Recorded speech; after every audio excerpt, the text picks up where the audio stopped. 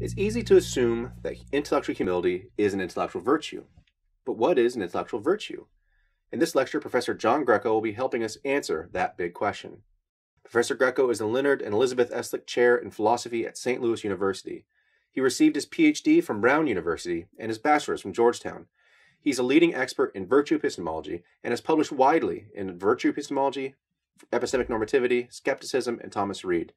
He's also the editor of American Philosophical Quarterly.